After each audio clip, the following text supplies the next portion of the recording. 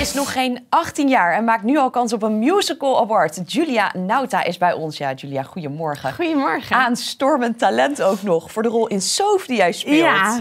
Eh, Er is eh, iemand, eh, Julia, die wij eventjes hebben gecontact... die jou heel erg veel succes wil wensen. Kijk even mee. Hey Jill, surprise!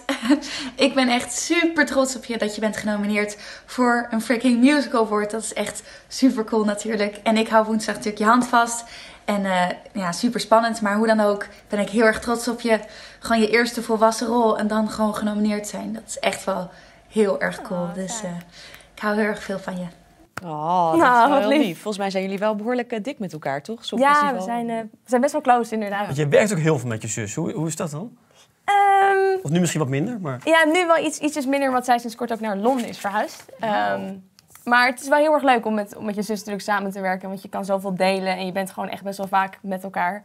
Soms ook wel dat je natuurlijk een beetje ruzietjes kan krijgen. Van, ja, ruzie, gewoon een paar discussietjes, maar dat is altijd wel weer Van die over. zussen- Waar- Van die dat blijft gewoon altijd eh, Ja. er zijn. Maar Ja. superleuk echt om dat te kunnen delen met iemand. Kijk, weet je, op eh Jules, ik wilde je eigenlijk nog één ding vragen. En eerst dacht ik van, dan wil ik je je grote droom weten. Maar eigenlijk wil ik toch nu nog heel even liever weten. Stel dat je hem nou wint, hè, morgen. Wie is dan de eerste persoon die je gaat bedanken?